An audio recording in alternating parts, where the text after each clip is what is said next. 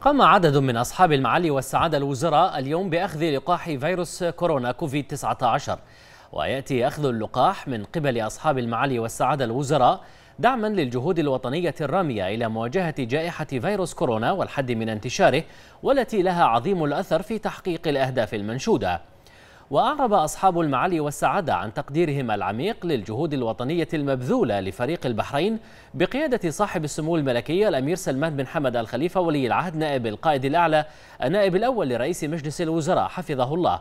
منوهين بأن الجهود الاستباقية التي اتخذتها مملكة البحرين قبل رصد أول حالة للفيروس في المملكة كان لها دور محوري في نجاح مسارات عمل التصدي للفيروس.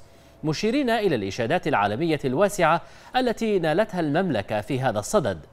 وكانت البحرين قد أعلنت في الثالث من نوفمبر الجاري عن إجازة الاستخدام الطارئ للقاح كوفيد-19 من قبل الهيئة الوطنية لتنظيم المهن والخدمات الصحية بعد التأكد من سلامة استخدامه وفق نتائج مختلف مراحل التجارب السريرية المرخصة للقاح.